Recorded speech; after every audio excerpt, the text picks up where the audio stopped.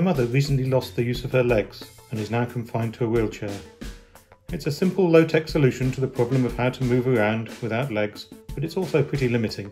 She can't get everywhere she used to be able to in her house and garden, and there are many cupboards, shelves and appliances in her kitchen that she just can't reach. We can adapt the environment around her to be more wheelchair friendly, but how much more enabling would it be to provide a robotic exoskeleton to restore her mobility? The technology exists today. Will it be mainstream and commonplace in 10 years' time?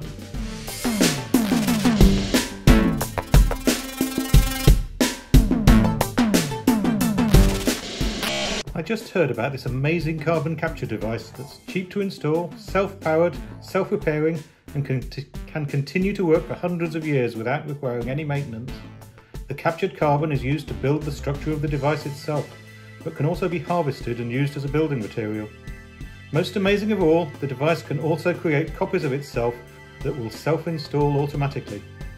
I have a few of these devices in my garden. Oak, ash and cherry and poplar I know technological solutions to climate change can be expensive and money doesn't grow on trees, but acorns do.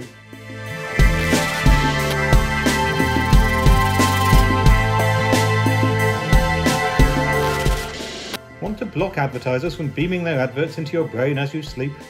In a few years' time, there'll be a strong market for tinfoil lined sleepwear